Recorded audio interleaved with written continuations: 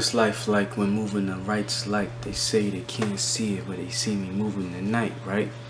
I'm on the block like a night light, but I'm in your bedroom like a night light. Who could fight, right? When you couldn't even tell what's left to right. I'm on the zone now, speaking from home now. I'm from the dome now, and you can leave me alone now. I'm alone, cloud.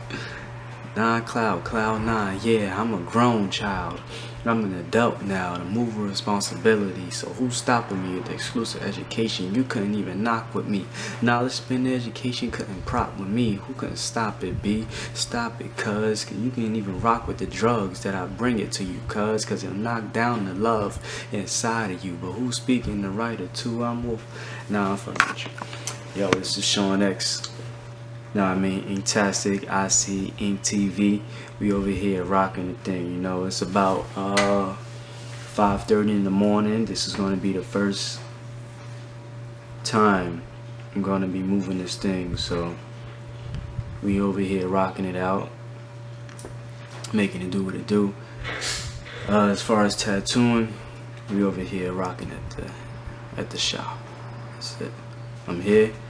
I'm alone. 5.30 in the morning. Watching the ladybugs fly around here, just watching everything, you know. Speaking observance, you know, I've been here all night tattooing. I have uh, 9 o'clock in the morning and I'm going to see if I can cancel that so I can go get some sleep because I'm tired. You know, see if I can reschedule it. And if the client's able to understand that, then they will have a greater tattoo later on in life. You know, it's only the possibility of what can happen. So, what's good? We in Brooklyn Bed-Stuy. We out here rocking it out, doing what we do all day, every day, which is tattoo. Inktastic. 118 Ralph Avenue between Jefferson and Hancock, Brooklyn, New York. 11221. You know, we rock with uh, Young Phoenix, Bebe Ink, Terrell Tattoos. We got Inktastic too in East New York. We rocking with uh, Il Seuss, Undeniable Ace. And we have a new sister over there from Cali or from Miami. I believe from one of those two that's actually doing her thing over there right now. So we're going to see how that flow. But right now, I'm here to tell you all about myself. I've been uh, drawing ever since I, I just came out the womb. You know, that's part of my life my father's side of the family, you know, we got together, we draw. Uh, my mother used to practice drawing. Used to uh, do all sorts of kind of things, you know. Shit's crazy over here just smacking a ladybug and flying around bothering the shit out of me. But other than that, um, all my life I was into physical fitness. I was into drawing. My mother would buy me an 11 by 14 art pad with 100 pages and I could finish that within three days before the amounts drawn, you know, with just two, three pencils. Anything I saw, I draw. Me and my twin brother, we would sit right next to each other and draw all day, draw all day, draw all day.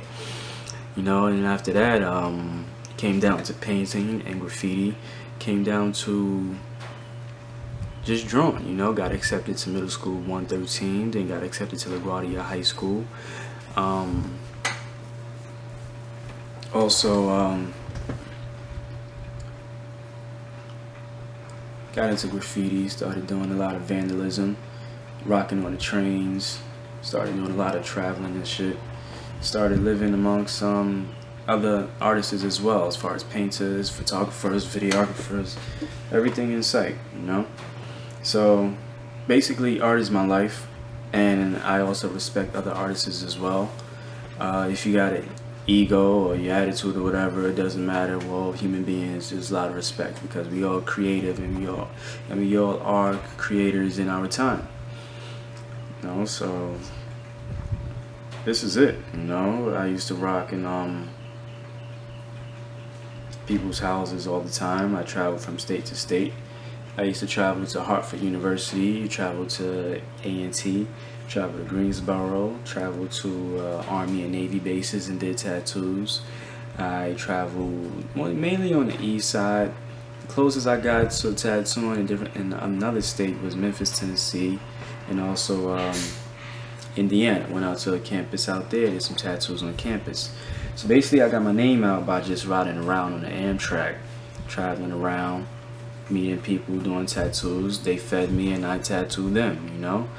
They um, brought people, they did parties, you know. you know how it goes in ink life. You know, you meet a girl, uh, you date the girl, uh, you have a place to stay, and you have people to tattoo.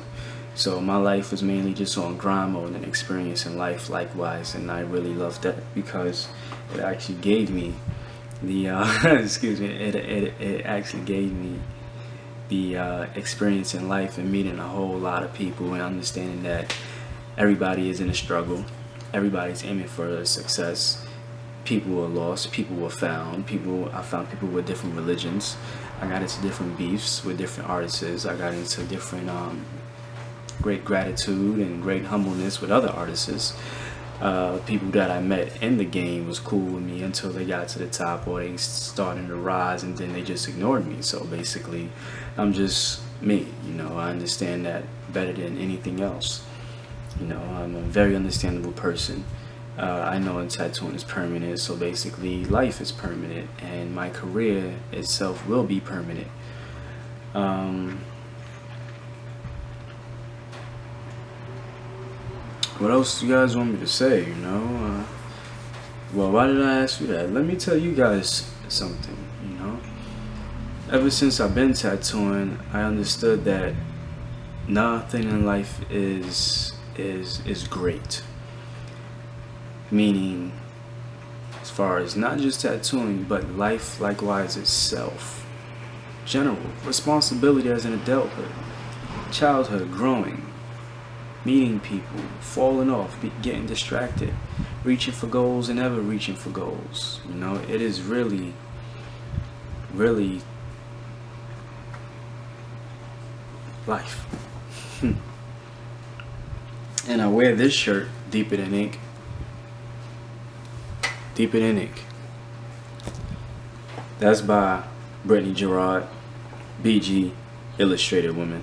Deeper than ink because when I saw it, I was like, okay, this is deeper than ink. It's deeper than what we see. And that's what I'm here to bring it up to you, like an idea, deeper than ink. Why? It's deeper than the tattoos itself. You know, because we're the artists behind the tattoos. We're behind the needles. We're behind um, everything. The responsibility of helping the clients, taking care of the tattoos. But other than that, it can just be the livelihood of the person that just get tattooed and why they get tattooed. Me, I got tattooed because I always wanted to hide from a few people. I always wanted to hide from secondary lives I had in my life. I always wanted to hide um, places in my life that I did not want to bring about. I wanted to stray away from civilization and get tattooed and just bar myself away from the community and, and civilization. And as I got deeper into this tattoo game, I understood that I can never run away from it because we all on the same planet, we're all on the same earth. Problems and energy, positives and negatives will always be around here. So I did not run away from anything. I just marked myself up with great um, pieces of art. Some stuff was actually on my right arm since I'm left-handed. On my right arm, I actually um, tattooed myself. I tattooed my chest you know, and then I let my boy Georgie do the shading, and I let my ex, you know, do the Africa and a few pieces on my arm and stuff. Since when I first got the tattoo machine, she let me tattoo her, and I scarred the shit out of her, you know. So basically, uh,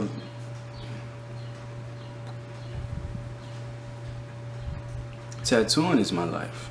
Tattooing is our life. I'm here every day, and everybody knows it.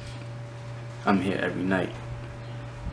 I'm here when people leave. I see them when they come in, when I'm on my way home to go take a 40 minute nap, shower up, come back with greatest energy and amounts of power and amounts of knowledge and wisdom to understand that life still goes on, whether if I'm still working here or not. It gets deeper than that. I mean, we know and we understand that we're going to be doing this forever. Uh, why am I also um, bringing this is because a lot of people always ask me, why am I here every day? Why am I here all day? And they don't and they do not know who I am.